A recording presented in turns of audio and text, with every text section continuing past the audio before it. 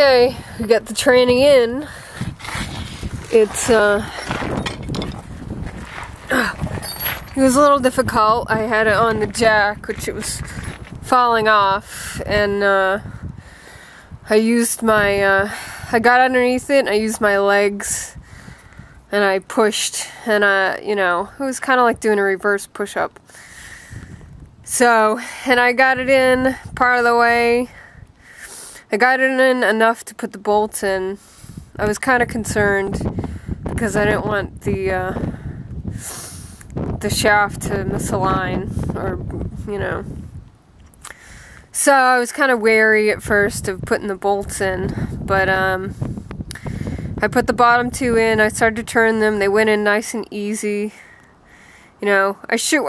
You know, while I was shaking it around, you know, I felt it slip in I think twice, so that uh, that was a good sign. So yeah, it was about a half an inch left, and I could put the bolts in.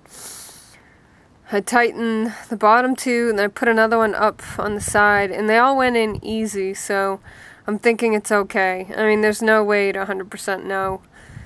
Um, I was looking online, and it said that. Um, because of the bearing that's in there, there's still pressure on that throwout bearing, pushing it out.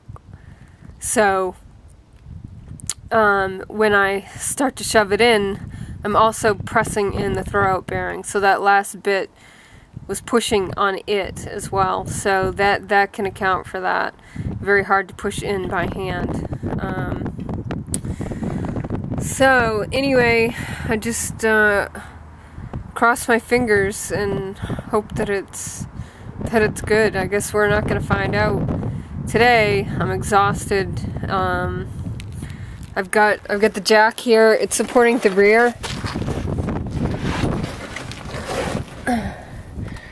supporting the rear of the tranny. There it is.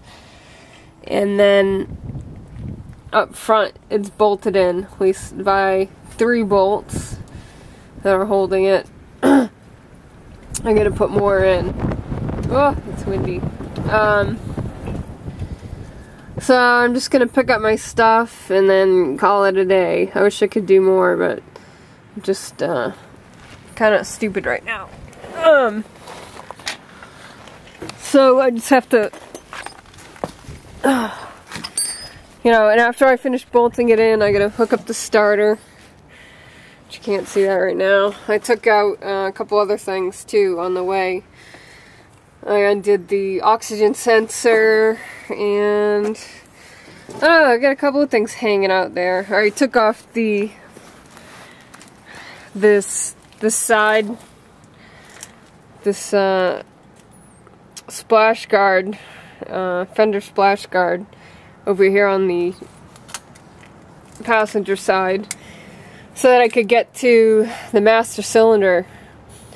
So I, you know, I didn't feel like disconnecting slave cylinder and dealing with bleeding it and all that other crap. So I just uh, disconnected this and just pulled the line. You know, was able to free this line up and it was able to move with the tranny. So I don't have to deal with that. I just hope I don't regret it later when I, uh, that the slave cylinder is going to last. I just couldn't deal with that on top of what I was doing already. So, for my first time. So, I know, we're getting there. We're very, very close. So I'll try to work on this tomorrow. I have to, uh, drill, drill a larger hole in one side of this cross member fit my new bolt in there. Should hold it snug. So, that's it.